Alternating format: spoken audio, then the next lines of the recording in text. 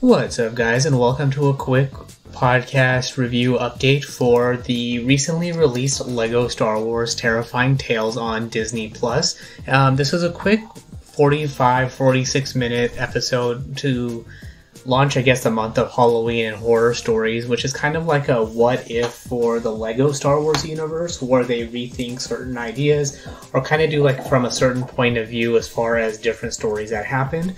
So overall, it was a good, quick 46 minute episode from the point of view of Poe Dameron and BB 8, where um, he goes against a couple of TIE fighters, his engines go bad, and ends up having to launch, or land on Mustafar, where Vader is showing off his castle to the Emperor, is going under a remodel, and basically various hijinks ensue. So it's less terrifying and more of a silly take on Halloween.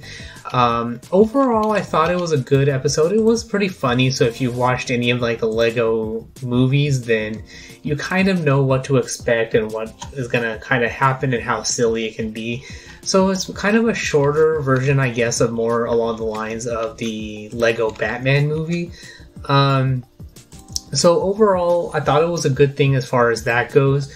Um, as far as some of the voice work, I thought it was pretty good. You could tell that, for example, um, Poe was voiced by someone else. You kind of he kind of has that affectation, but not quite.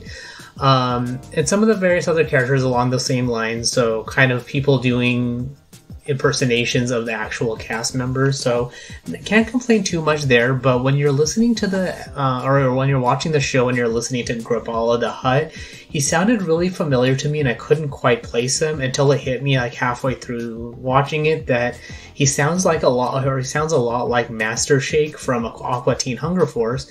And as it turns out, the same guy voices both characters, which is why that sounds like, or Graballa the Hutt sounds like Master Shake. So I thought that was a particular note. Um, and then my favorite scene probably was the fight between Maul, Darth Maul and Grievous, where it was basically the Star Wars take on Monty Python and the Holy Grail. Um, the the uh, fight between the Knight and the Black Knight, where um, his various various limbs are being chopped off, and the Black Knight is still fighting. So, kind of basically just a, a Grievous being Grievous, and like I've been training the um, lightsaber combat, but so it doesn't matter who he's fighting against. But then Maul has the Force and uses that to his advantage. So overall, a good scene there, or a good scene there. And then, of course, I didn't realize in watching it that there's a droid named NIL8, which I realized it at the time when it was brought up towards the end by Poe, that it's a shortened droid version, droidification of Annihilate. So I was, I kind of face palmed myself there.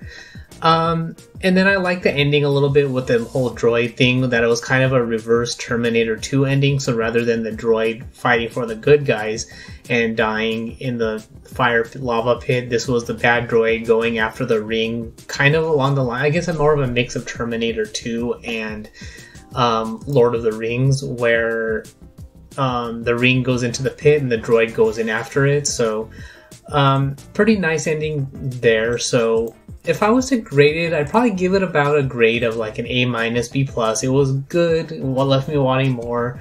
It wasn't particularly scary, so there's that. So nothing. It was just a good, enjoyable, quick 46 minute episode. So if I was kind of hoping that, them, or I'm kind of hoping that they actually do more, where they release maybe one a week for the month of October or something, where they do various tales, or maybe they bring in various other characters even though they kind of did that in this, where it's a mix of you know um, Luke Skywalker and Darth Vader at the Death Star, Poe Dameron and um, the Emperor and Vader, and then you have you know Maul fighting Grievous and stuff like that. So um, as I don't know if there it doesn't seem like they're gonna do more. Um, but if they do, I, or I kind of hope that they do do more episodes like this throughout the month of October.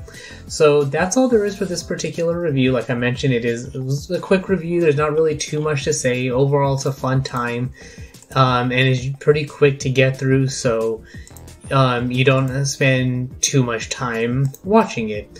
So that's all there is for this particular review. So if you have any questions, comments, feedback of your own of what you thought, did you like it, dislike it, what was your favorite part or scene, or anything like that of, in the show, then you can find me on Twitter at PatelN01. The website is headphonesneil.reviews for past episodes, subscription links, supporting the show, and all of that good stuff. And of course, if you do support the show on Patreon at patreon.com slash PatelN01, you get the schedule of upcoming content for October for what's going to be reviewed, what is going to be reviewed as far as uh, movies, TV shows, video games, and all of that good stuff. You'll kind of figure it out, I assume, um, as the month goes on.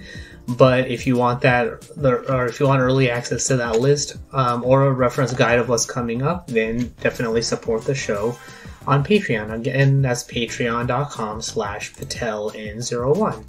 But thanks for tuning into this particular episode, and until next time.